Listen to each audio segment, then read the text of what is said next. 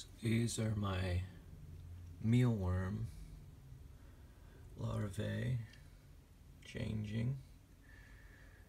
And then I'll show you my superworm colony, mega colony.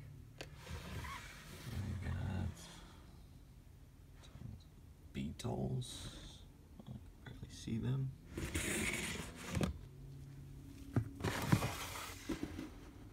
Those are all worms. More beetles eggs.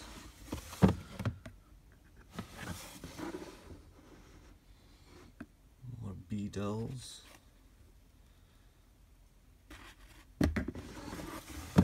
I leave these beetles in there for about a month to two months to lay as many eggs as possible in the dirt and wait for them to turn into giant superworms, which I'll show you in a second. You have them all categorized to just keep track of them. But then you'll see tons of them in this dirt.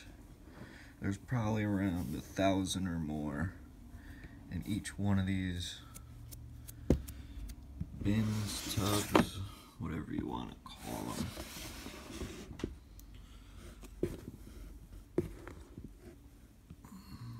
More. This is how I feed my monitors. My frogs eat them every once in a while. But this is the fun part of separating them all so they turn into beetles. So I have a ton of new darkling beetles any day for more and more eggs.